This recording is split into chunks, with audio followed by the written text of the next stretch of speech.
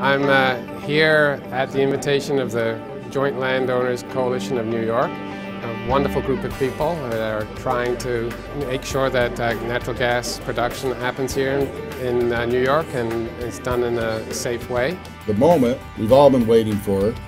You may recognize one of the featured experts from Truthland in the room.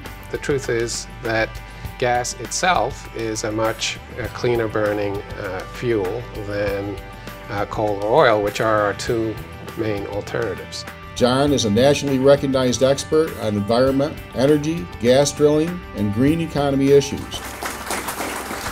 We've had an energy boom in in the U.S. It's very important to understand that the use of gas to displace dirtier fuels is cleaning our air and protecting the public health. We're going to talk about gas drilling. We're going to be honest. We're going to level with everybody about what, what the uh, risks are and how to manage those risks and what's being done to manage these risks. Hydraulic fracturing is one part of the gas production process. Hydraulic fracturing is when the fluid is uh, pumped underground to break open the shale and release the gas. Hydraulic fracturing fluids have never returned from depth to, to an aquifer and polluted it anywhere in Pennsylvania the other concern that is, uh, I think, appropriately on the table about impacts on water has to do with what we call gas migration. When you see that picture of a tap exploding in a fireball, it obviously has gas in it. The question is, where did the gas come from?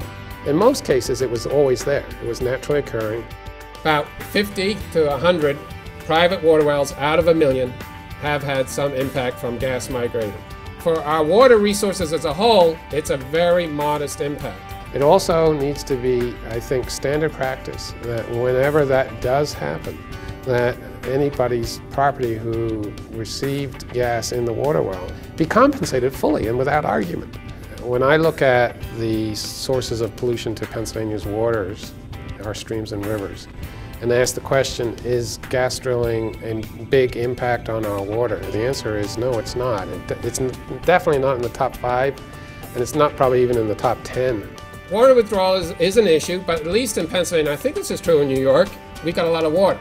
About nine and a half billion B billion gallons a day is withdrawn for all purposes. Gas drilling is about 2 million, 1.9 million M, million. The learning continues. People need to get educated. It's also very important, frankly, uh, to produce the gas as, uh, and keep improving the production processes as you do that. If every state had done what New York State had done and said no, your home heating bill, if you're using natural gas, would probably be at least double roughly four or five hundred dollars a year higher in your electric bill. We would be still getting probably close to 50% of our electricity from burning coal. Our air would be much dirtier than it is today.